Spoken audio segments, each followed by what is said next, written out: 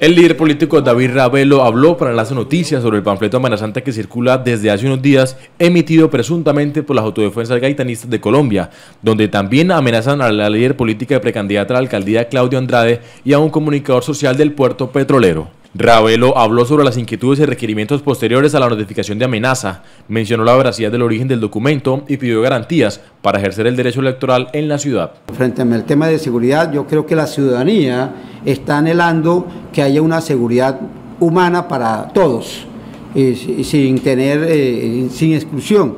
Y la gente eh, ve un estado de incertidumbre en los barrios. Es la verdad por todos los temas de violencia que está sucediendo. Es decir, debemos concitar no solamente la voluntad ciudadana, sino de los dirigentes sociales, políticos, gremiales, para que en un ambiente de, sana, si se quiere, competencia, pero sobre todo de convivencia, podamos entre todos sacar esta ciudad que amerita que se puedan resolver los problemas de la gente. Y para que haya paz tiene que haber justicia social.